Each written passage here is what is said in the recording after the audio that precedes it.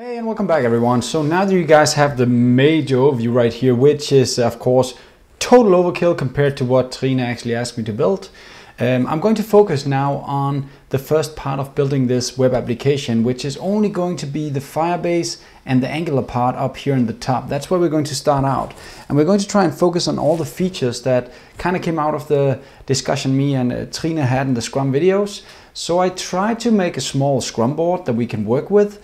Um, so right here I have a, a, small Scrum, I'm using a tool called Scrumwise, it doesn't matter. Here I'm using a Scrum board right here. And, um, and right now I've decided in the first sprint to do these things right here to kind of make uh, Trine happy. And there's actually some pretty complex things in here that we'll, we'll have to manage. We'll get back to those, but the first step you'll see right here is I made an initial setup backlog item right here. Let me try and zoom a bit, maybe that helps you guys. There we go an initial setup right here. That's the first one I made and I have a setup Firebase, setup Angular and setup GitHub. So we have all of these ready so we can start working actually. And uh, what we're going to do this video is we're going to set up Firebase to actually have some kind of backend that we can work with. So that's going to be the first step for me. I'm going to put it in progress and, uh, and I'm going to do that right now. So let's jump into Firebase uh, and have a look. I'm inside firebase.com, uh, sorry, firebase.google.com and I'll now go to the console. And again, of course, you need an account here. You need to have a Google account to get to this point. I expect that you're doing that. It's just getting an account, Gmail or something like that, and you have the account. So I go into the console right here. And inside the console, I want to add a new project. And my new project is going to be called um, Hairdresser. And let's call it a salon, something like that. Maybe that's... Uh, not quite unique, but I'll still take that name, that's okay. I'll pick uh, enable Google Analytics, I'll continue, and then I'll just select the default account for Firebase that I have available right here, and it'll create the project. So this will take a bit of time. Now the application is ready right here on Firebase, so let's try and continue. Um, uh, right here you'll see everything you can do with Firebase out of the box. And there's actually a lot of things you have out of the box. You have authentication, we'll dive into that later. We have a database Give me a second, I'll come back to that one. We are going to use Firestore, but there's actually two to pick from. You have the Firestore database and you also have the real-time database. Now this is the old original database that Firebase built and I don't think that's the one you want to use because Firestore is just the one that gets the most love right now and it's growing really fast. So that's the one we're going to use. Uh, we're also going to end up using storage to save files, images. We're going to end up host our application right here. Hopefully within a couple of videos, we're already ready to have it hosted so I can go back to Trine with a link and show her our progress, right? So that's the goal. We're going to use functions to make some kind of um, API that can help us uh, maybe some small, think of it as, as microservices uh, almost.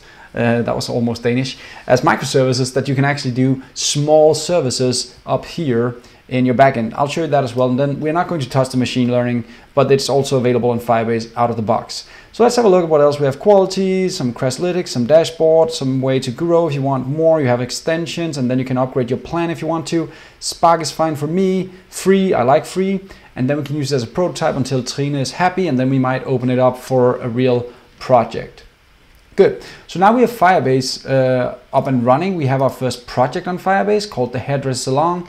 And if I open the database part right here, I can create a new Firestore database. So let's just do that. And I'll actually create it in test mode first. Now this means that everybody with information can actually access this and change this, uh, which is of course not safe. So you should, when you go to production mode, you should set up some rules and we'll get back to those later as well. But now let's just keep it in test mode to make it easy.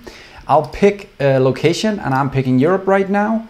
You have to you cannot change your location later, so pick the right one. It's just where you want to store your data, and I think Europe has the best rules. I'm from Denmark, so I believe that's uh, where I should put my data anyway.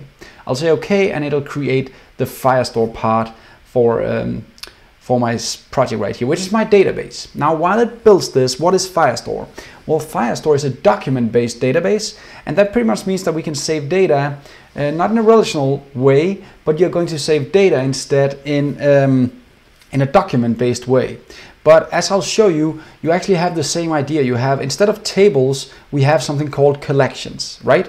So instead of rows, you have something called um, documents. And instead of columns, you have something called fields. So you have the same, you can kind of uh, link these two together if you are normally used to uh, um, a relational database. So, so don't worry, we'll get back to it in the next lesson. But this was kind of my first step right here. I can uh, go back, I have a Fire, Firestore up and running now. Uh, I have a Firebase instance ready. And if I go back to my Scrum board right here, I, have set up my Firebase.